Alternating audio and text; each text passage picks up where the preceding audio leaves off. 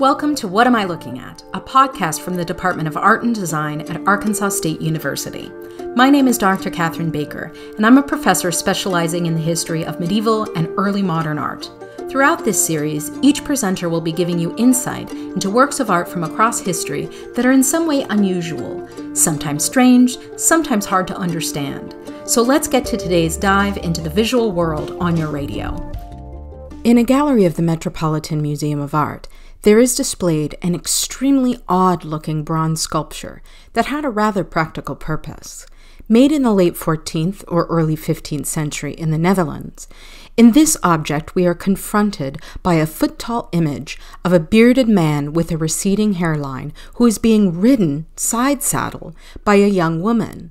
With one hand wrapped in the tendrils of his hair and the other placed on his rump, the woman is elegantly dressed in a flowing gown, waist cinched with an elaborate belt encircling her midsection. The man, on his hands and knees, seems equally well dressed in a short tunic and pointy toed shoes associated with the period. Known as poulaine or crakow, their elongated tips bend along the ground, providing further stability for the object. Directly next to a series of buttons that adorn his top, a spigot with an elaborately formed handle juts out from the man's chest. This is the key to the function of the object, an aqua a vessel used to pour water for hand washing in the church and in the home.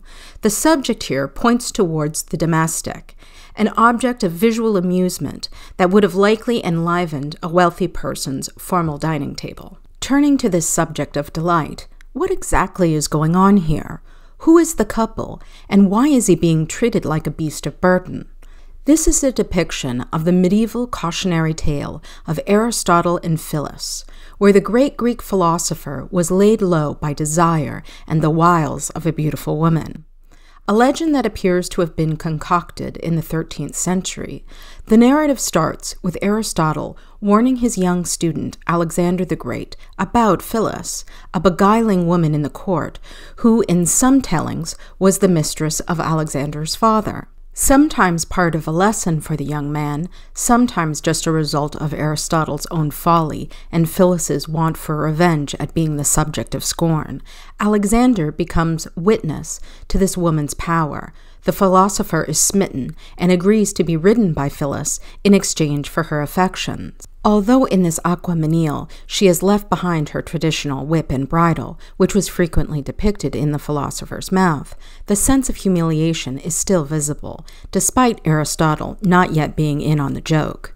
An incredibly popular narrative in the medieval and early Renaissance, one can imagine a dinner guest getting a good little chuckle as they wash their hands, perhaps hoping to cleanse their own hypocrisies. What Am I Looking At is provided by KASU in collaboration with the Department of Art and Design at A State. Stay tuned next week for another exploration of art over your airwaves.